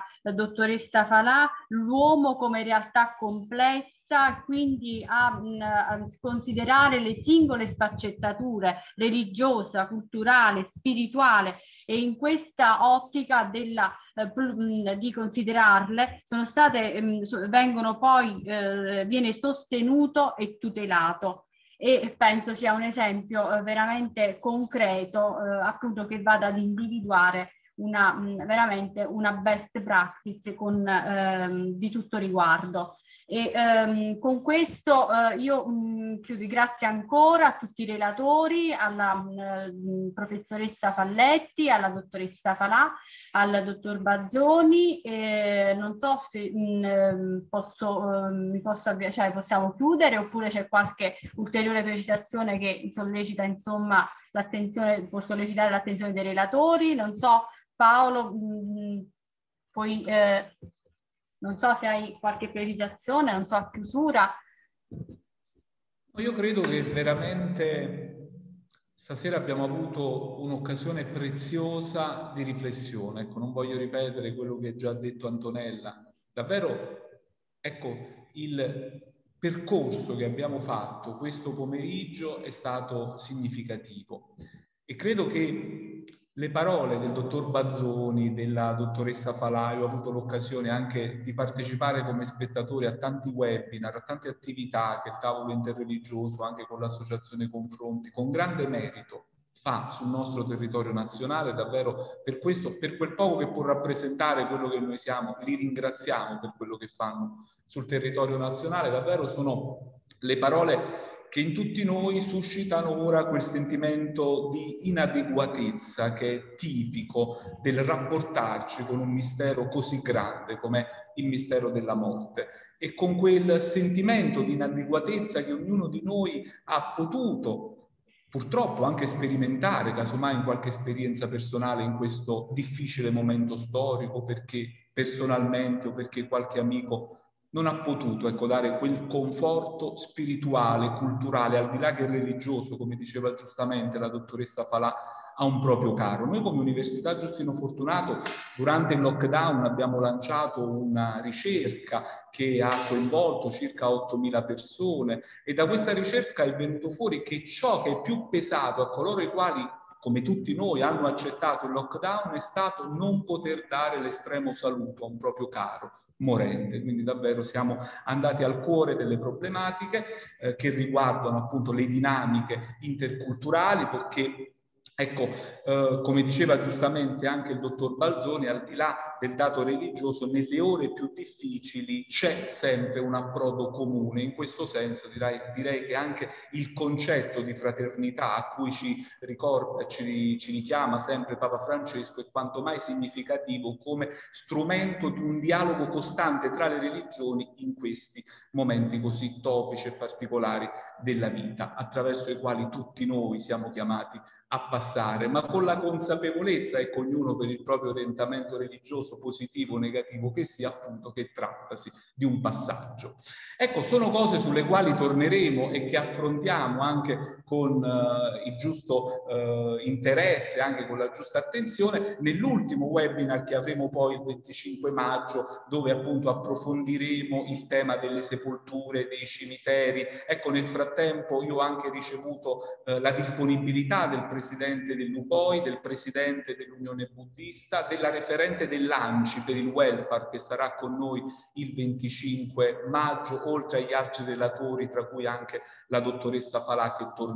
E ne approfitto nel ringraziare la dottoressa Losano e nel chiudere nei tempi che ci eravamo prefissi questo webinar per ricordare nuovamente i prossimi appuntamenti. Noi ci rivediamo il 22 aprile alle ore 16, stesso link, stessa piattaforma per chi vuole continuare questa, questo percorso, eh, che, per chi vuole portare avanti questa riflessione con noi eh, sulle problematiche interculturali affronteremo il tema coppie e famiglie miste, 22 aprile ore 16 e invece poi il 26 aprile tutela della libertà matrimoniale e contrasto al fenomeno delle spose bambine, sempre all'interno di questo ampio progetto sul pluralismo confessionale, le dinamiche interculturali, appunto le best practice per una società inclusiva. Buon proseguimento di serata a tutti, grazie ancora all'avvocato Losanno che ha coordinato, alla professoressa Falletti, alla dottoressa Falà, al dottor Bazzoni. Per quello che è possibile, ecco, noi siamo disponibili anche sui nostri territori a farci portavoce con le istituzioni della sottoscrizione di questo manifesto. Per quanto riguarda il nostro territorio, riteneteci a vostra completa disposizione e auspico che anche altri che sono collegati vogliano impegnarsi per le proprie strutture sanitarie di riferimento a parlare con i dirigenti perché questo manifesto possa camminare ma ha bisogno delle nostre gambe per diventare realtà e quindi su queste immaginiamo di poter crescere e progredire ancora insieme. Buona serata a tutti e grazie ancora.